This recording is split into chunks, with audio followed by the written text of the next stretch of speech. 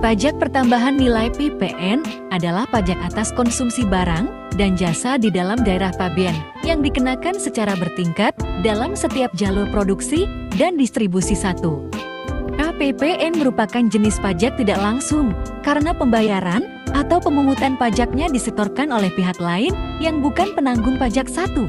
Berdasarkan pasal 7 ayat 1 Undang-Undang Harmonisasi Peraturan Perpajakan UU HPP, tarif PPN yang sebelumnya sebesar 10% diubah menjadi 11% mulai berlaku pada 1 April tahun 2022.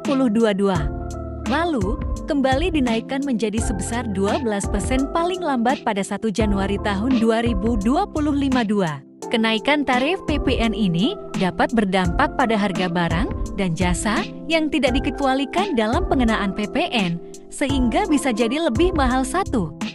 Pemerintah memiliki kewenangan untuk mengubah tarif PPN menjadi paling rendah 5% dan maksimal 15% melalui penerbitan peraturan pemerintah PP setelah dilakukan pembahasan dengan DPR 1.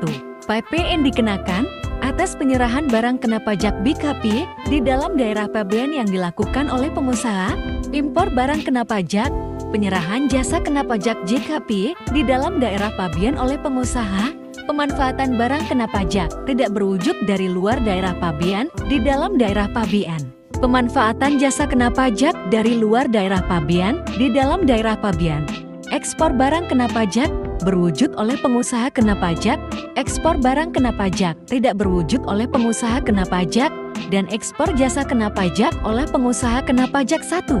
Impor barang kena pajak, serta pemanfaatan barang kena pajak tidak berwujud dan atau pemanfaatan jasa kena pajak dari luar daerah pabean di dalam daerah pabean yang dalam penghitungan pajak pertambahan nilai terutang menggunakan dasar pengenaan pajak berupa nilai lain dapat dikreditkan satu. Dengan adanya kenaikan tarif PPN ini, diharapkan dapat meningkatkan penerimaan negara dan mendukung pemulihan ekonomi nasional.